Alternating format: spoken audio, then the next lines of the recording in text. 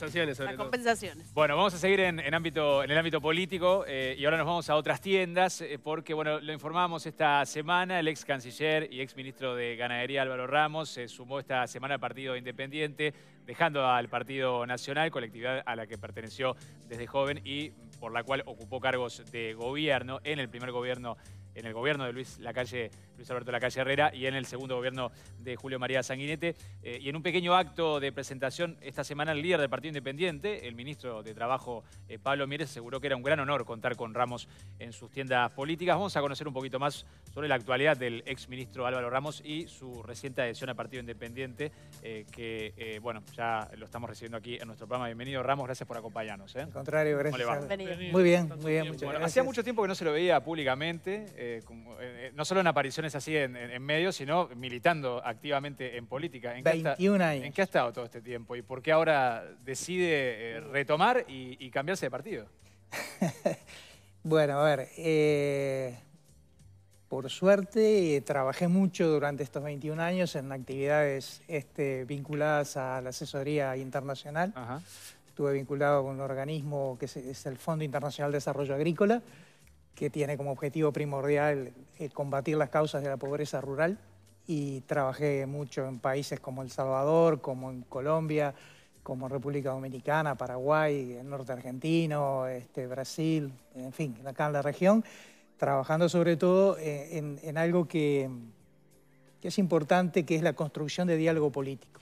Y, y después podemos ir un poco a, a- a la razón de, de- de mi vuelta quizás a la, a la actividad política más activa, y, y que es construir diálogo político. Yo, yo, yo estoy convencido que a lo largo de estos, de estos años, de estos, de estos últimos 20, 25 años, las sociedades han cambiado, ¿tá? mucho, y hoy la sociedad exige a, a los partidos políticos una cantidad de, de- de planteos, de exigencias, de, de- de- de soluciones, de, de plantear demandas, de una forma totalmente distinta a lo que era unas décadas atrás. Es hoy la sociedad está organizada, hoy hay que escuchar a la sociedad a partir de sus organizaciones sociales, a partir de sus estructuras, a partir de cómo se expresa, a partir de las redes sociales, a partir de los vínculos que de, alguna manera eh, hoy la sociedad tiene para llegar a la opinión pública. Hoy tenemos ciudadanos, tenemos opinión pública y tenemos consumidores. Y ciudadanos, opinión pública y consumidores conforman en distintas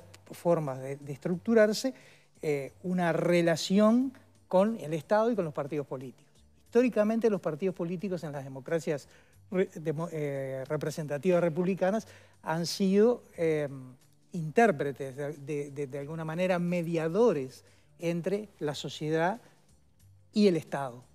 Y yo creo que en estos años los partidos se han desacomodado en términos de cómo hacer para seguir cumpliendo ese rol clave de mediadores, pero entendiendo las nuevas lógicas de expresión de la sociedad. Entonces, mi trabajo, contesto la primera parte de tu bien, pregunta, sí. este, mi trabajo estos veintipico de años, de alguna manera me permitieron ver la realidad latinoamericana en muchos aspectos y ver cómo eso se conforma y la importancia que tiene escuchar, ¿no? es decir, estar, tener una escucha atenta de lo que la sociedad organizada está planteando y poder transformar eso en posturas políticas, en planteos políticos, en legislaciones y en decisiones.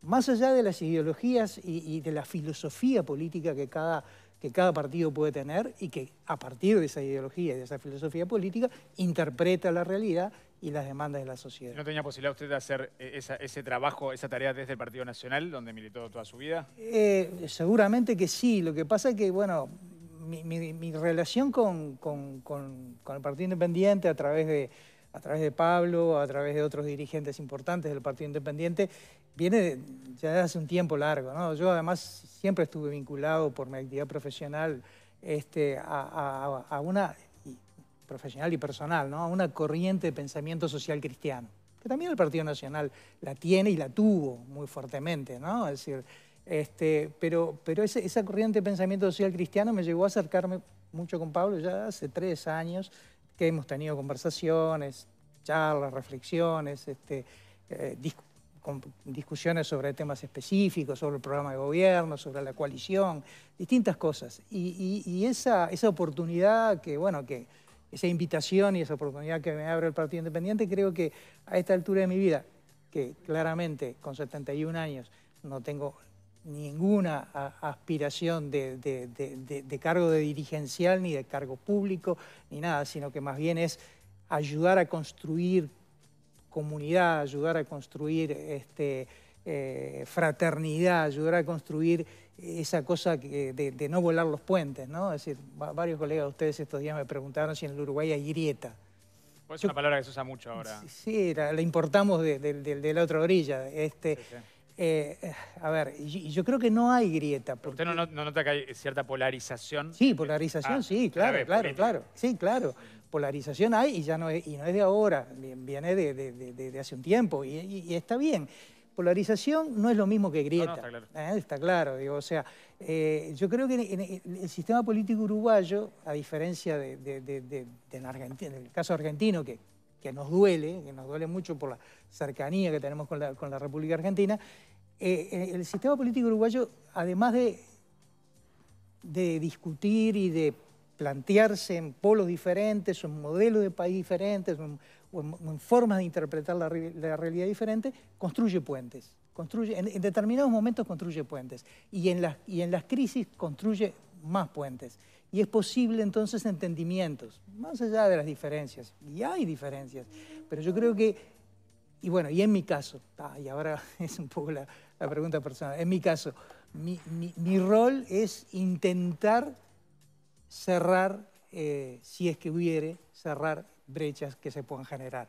Tratar de, tender puentes y tratar de, de alguna manera, darle ese, ese rol que para mí el Partido Independiente, en caso de, estar fortalecido, debe y puede cumplir, que es generar un, generar un cauce para que mucha gente, sobre todo con, ustedes, nos estamos conociendo ahora porque cuando yo dejé de ser política, ustedes eran adolescentes todos, este, entonces digo, bueno, eh, eh, el Partido Independiente puede ser un cauce para mucha gente que o tiene un pensamiento social cristiano, o tiene un pensamiento socialdemócrata, o tiene un pensamiento de una sociedad más, equilibrada, este, donde, el, donde el ser humano está en el centro de la cuestión política. ¿El Partido Nacional perdió ese sector para el que se siente socialdemócrata?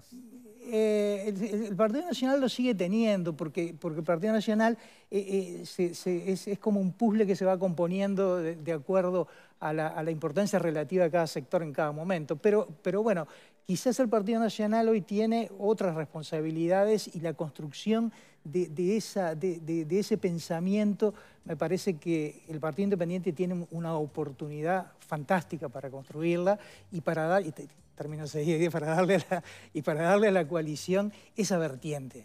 Es decir, la coalición, e, esta coalición de gobierno necesita fuertemente esa vertiente.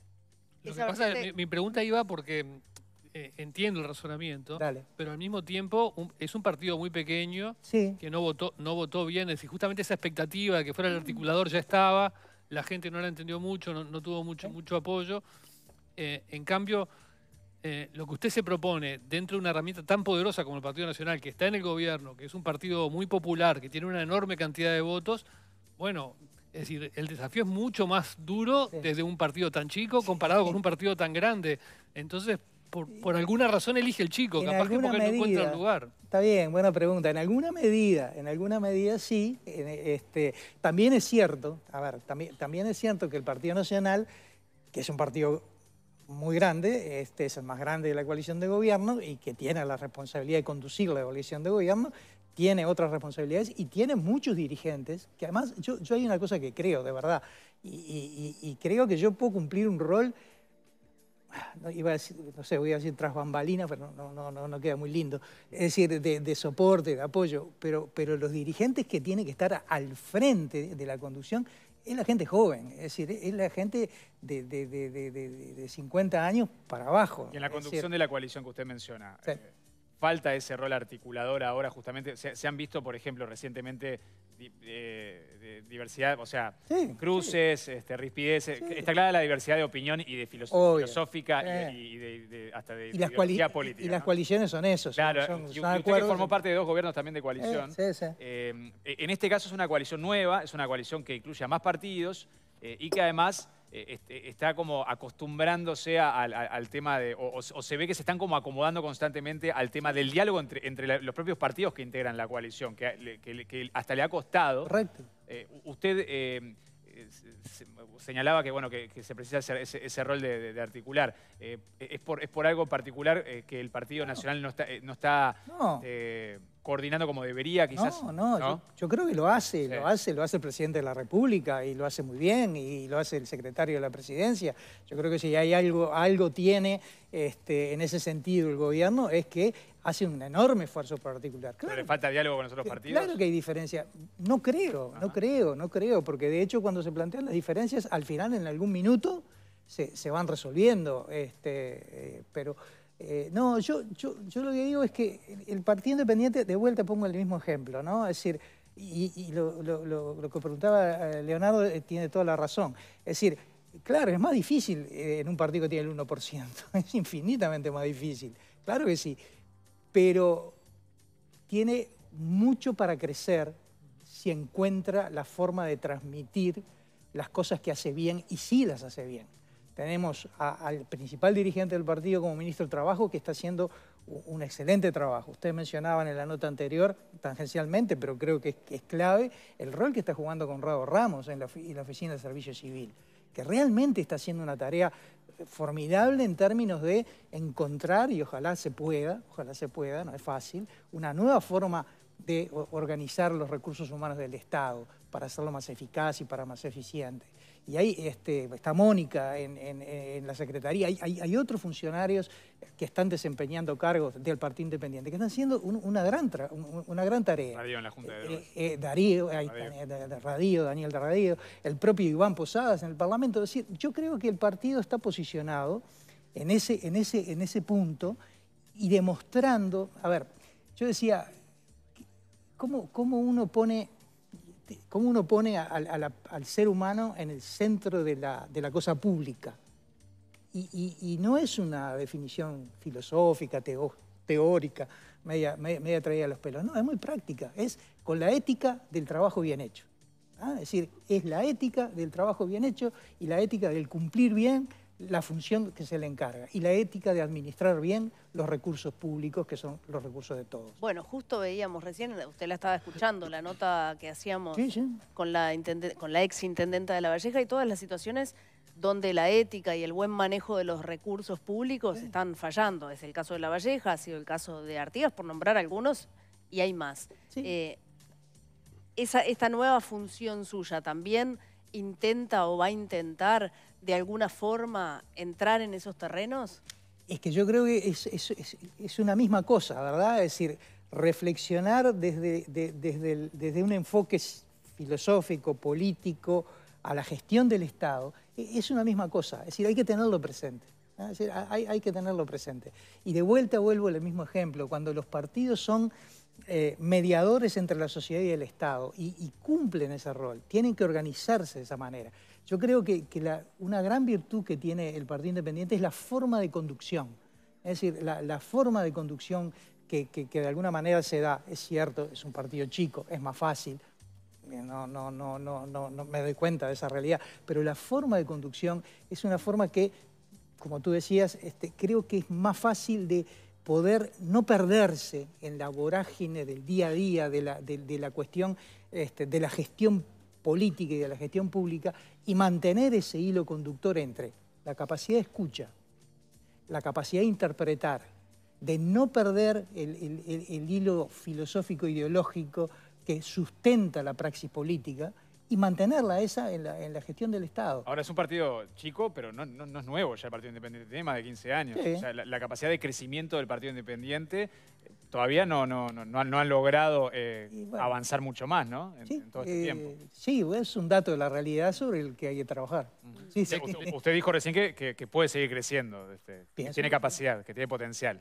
sí, absolutamente, absolutamente, absolutamente. En cambio de tema. Recién venía escuchando al, venir al programa declaraciones del ex canciller argentino Felipe Solá, ah, eh, criticando muy duramente al Uruguay, al presidente de la República, diciendo que usa la Argentina este, con, fines como electorales, este, eh, que según él este, el, presidente aprovecha un sentimiento de anti-argentinidad que habría acá para eh, hacer caudal electoral. Usted fue canciller. ¿Cómo, cómo ve nuestras relaciones con la Argentina, todas las idas y venidas que han tenido en estos años, que incluyeron bueno, puentes cortados, en fin, y la actual situación de tirantes?